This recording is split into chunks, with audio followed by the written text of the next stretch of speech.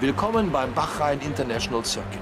Jeden Moment begeben sich unsere Fahrer auf die Strecke und dann beginnt der Grand Prix von Bachrhein.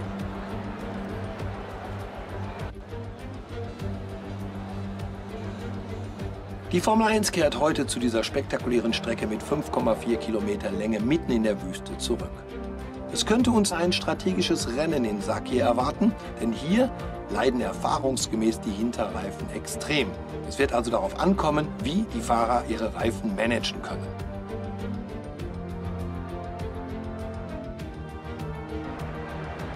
Und wie immer sitzt heute Stefan Römer neben mir in der Kommentatorenkabine. Erklär doch mal ganz kurz, was genau die Fahrer tun werden, um das Gerenne bei Kurve 1 zu überstehen.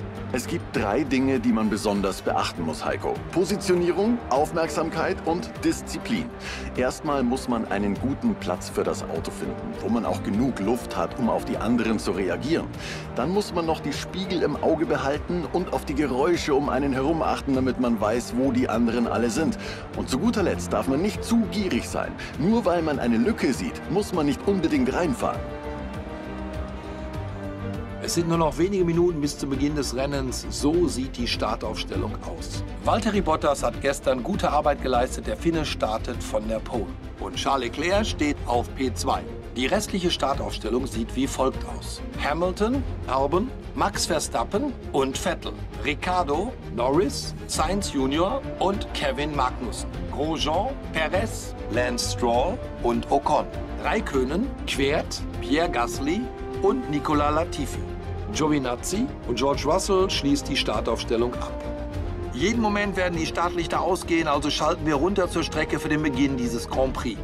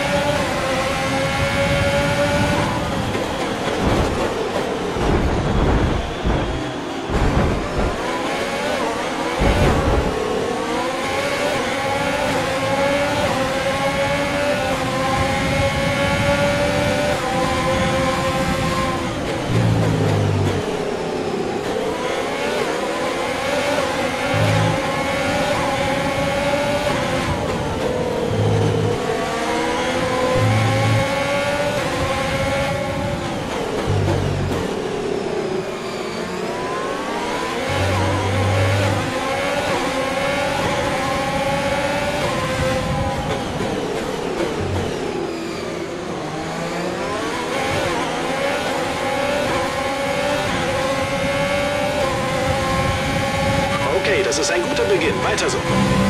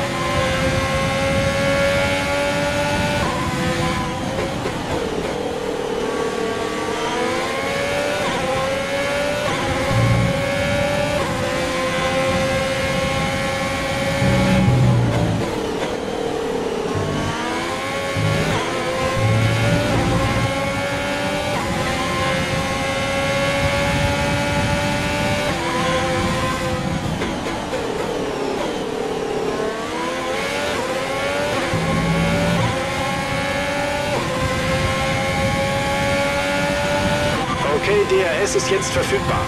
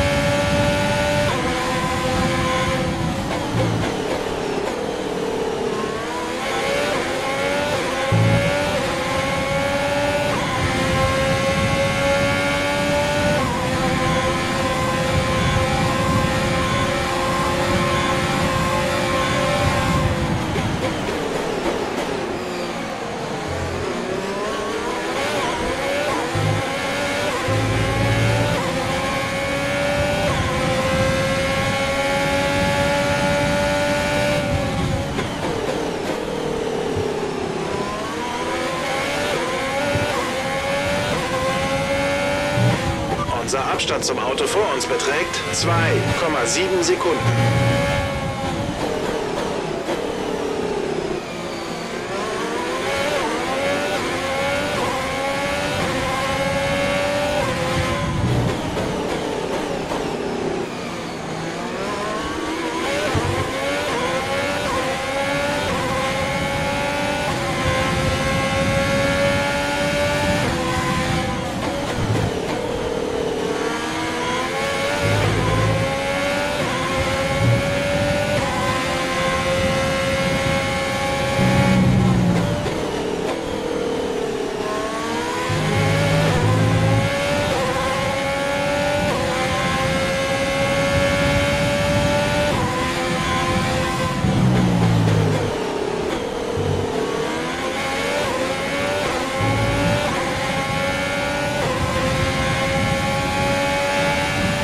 Das ist deine letzte Runde, die letzte Runde des Rennens. Der Abstand zum Teamkollegen beträgt 4,3 Sekunden.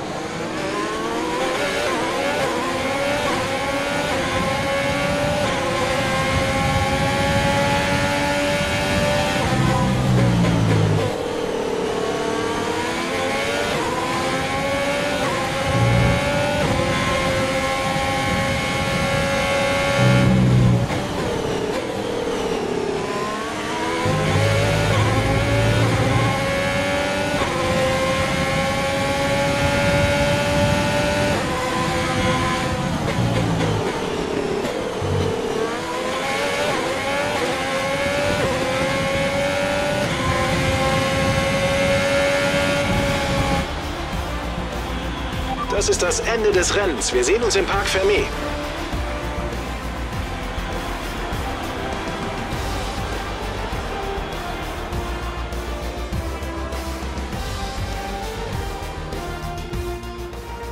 Also wieder ein fantastischer Sieg für die Silberpfeile. Also Stefan, was hat heute da draußen den Unterschied gemacht? Das war ein echter Teamsieg. Sie hatten eine solide Strategie, die gut an die Bedingungen der Strecke angepasst war. Der Fahrer hat alles getan, was von ihm erwartet wurde, um den Plan des Teams perfekt umzusetzen. Ein glänzendes Beispiel dafür, dass das hier ein echter Teamsport ist. Nach einem großartigen Rennen begeben sich die Fahrer nun zum Siegertreppchen. Wieder einmal sind es die Silberpfeile, die den ersten Platz belegen. Ein wohlverdienter Sieg für Mercedes.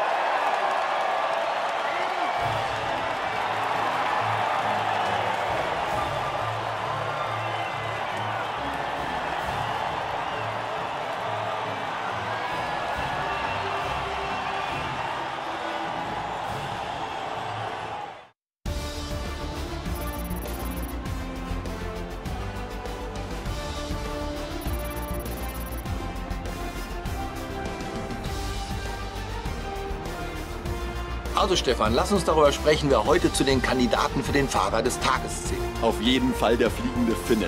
Warte, wie viele fliegende Finnen hatten wir inzwischen schon? Wie auch immer. In diesem Fall meine ich Bottas. Starkes Tempo und ebenso gute Arbeit im Verkehr.